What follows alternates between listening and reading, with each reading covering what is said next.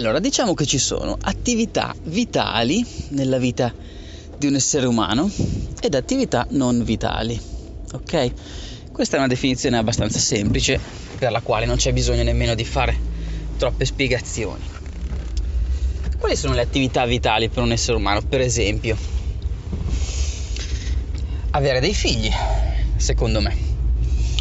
Una delle soddisfazioni principali,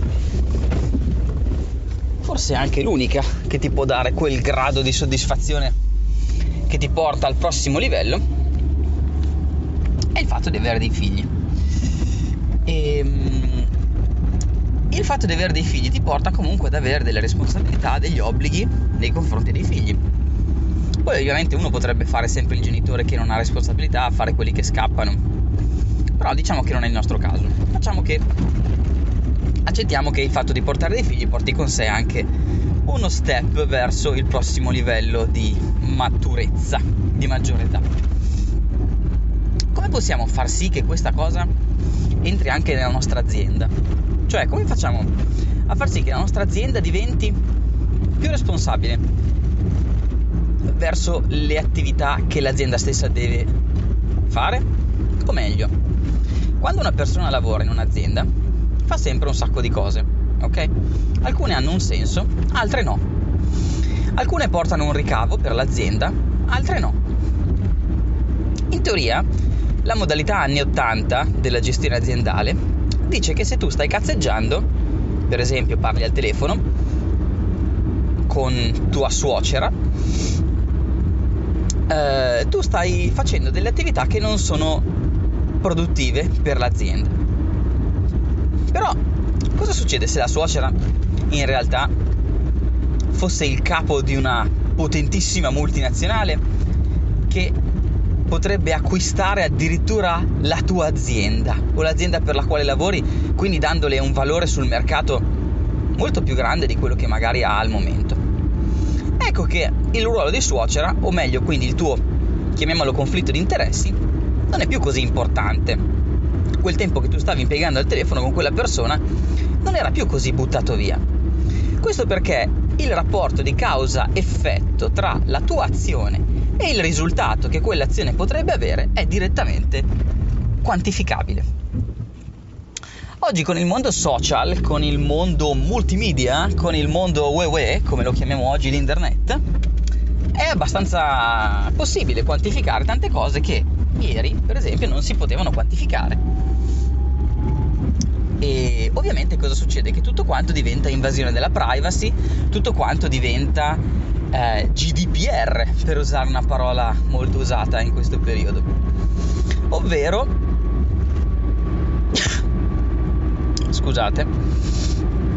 Ovvero che cosa succede? Um, gli stati cominciano a capire che le persone non sono più così piccoli attori all'interno del loro recinto. Le persone non, non sono più soltanto cittadini e le aziende soprattutto non sono più soltanto aziende, ma ogni entità va verso le altre. Una persona può, anche, può anche rappresentare un'azienda, un'azienda può rappresentare il bene o la volontà di più persone, un'azienda può decidere come le persone impiegano il loro tempo e quindi può anche decidere come questo tempo può essere messo a frutto piuttosto che eh, sprecato. E quindi che cosa succede?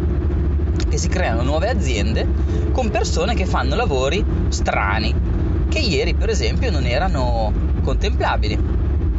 Per esempio boh, il social media manager, ovvero è una persona che cazzeggia tutto il giorno su Facebook? Boh, non lo so. Quanto valore porta all'azienda una persona che sta su Facebook tutto il giorno? Quanto valore porta all'azienda una persona che fa outreach tutto il giorno, ovvero che va a cercare rapporti commerciali, intrattiene relazioni o anche per esempio acquista prodotti da altre aziende. Tutto questo potrebbe essere quantificabile. In questo momento però non lo è, perché in questo momento siamo nel fantastico nulla in cui ognuno dovrebbe capire quanto vale per se stesso, per la propria famiglia, per il proprio destino e quanto vale per l'azienda per cui lavora. Che cosa succede? Che appena una persona capisce quanto vale per l'azienda, per se stesso, bla bla, potrebbe scattare lo stress. Perché nel momento in cui quello che tu capisci di valere non viene dato indietro dall'azienda, che magari in quel momento ti sta pagando meno di quanto tu ti aspetteresti di, ti aspetteresti di essere pagato, ecco che si crea dello stress all'interno della persona. E l'obiettivo di oggi, di questo podcast che probabilmente non pubblicherò, come gli altri 10 podcast che non ho ancora pubblicato, è questo, cercare di capire, tu e io che siamo separati da questo velo di spazio-tempo che non eh, ci consente di guardarci in faccia, ma che in fondo stiamo comunque comunicando, tu e io. Questo deve essere stata la frase con eh, la distanza soggetto-predicato più lunga mai posta, con anche una parentesi, con anche una parentesi metalinguistica all'interno di un'altra parentesi. Ebbene, caro amico, caro amica che stai ascoltando questo podcast, come facciamo a rilassarci in tutto questo contesto nel quale il nostro valore non è chiaro, nel quale la misurabilità delle azioni che noi facciamo per le aziende non c'è, nel quale le aziende devono darci un valore, quindi devono dare un valore al nostro tempo in funzione di che cosa? In funzione dei risultati passati? o in funzione delle promesse che noi facciamo il giorno che ci fanno il colloquio? Non si sa. In questo contesto purtroppo è fondamentale rilassarsi ed accettare che in fondo non c'è una misurabilità per tutte le cose e che in fondo alla fine della fiera, quando torniamo a casa, esistono cose importanti e cose meno importanti. Io in questo momento sto andando a prendere la mia bimba a scuola e la porterò a gioco danza, che è una cosa che non ho ancora capito esattamente che cosa sia, ma a lei piace, per cui lo faccio. Dovrei prendere una tata per andare a prendere mia figlia a scuola e portarla a gioco danza? Dovrei ottimizzare meglio il mio work-life balance o dovrei percepire io stesso uno stipendio per questa attività di papà che sto facendo? No. Esattamente come io non considero utile pagare una persona perché mi pulisca casa, ma preferisco prendermi 10, 15, 20 minuti tutti i giorni per fare delle attività che mi consentono di avere la casa in uno stato decente, non è solo perché io sia taccagno. Sì, è vero, sono taccagno. La mia ex ve lo potrebbe confermare.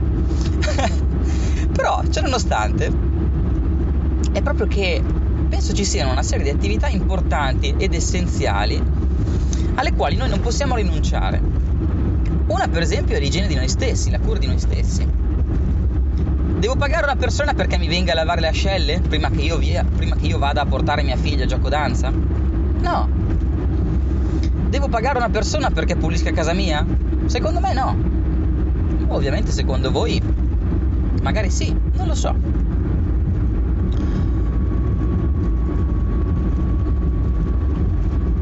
prendiamoci un minuto per riflettere. Io sto qui con te eh, all'interno di questo podcast, ma prenditi un minuto per riflettere. Quali sono le attività essenziali, quelle vitali per la tua vita, quelle che devi fare comunque? E mettiamo all'interno di queste attività vitali qualche attività che non pensavamo lo fosse, o viceversa. Qual è il valore del tuo tempo? Qual è il valore del mio tempo? della tua giornata, dove la spendi, come la spendi, soprattutto con chi la spendi. E soprattutto diamoci pace. Datti pace, caro amico, cara amica, perché non tutto è misurabile. Non tutto è un ticket, non tutto è un task, non tutto sta all'interno dello stipendio, ma soprattutto non tutto quello che farai ti verrà pagato, ma la tua soddisfazione alla fine della giornata deriva direttamente da quello che farai e non da quanto verrai pagato. Anche se, se verrai pagato poco, prima o poi dovrai romperti i coglioni e andare a lamentarti con qualcuno o magari a lamentarti con te stesso e o con te stessa. Io sono arrivato a scuola e tu dove sei arrivato o dove sei arrivata?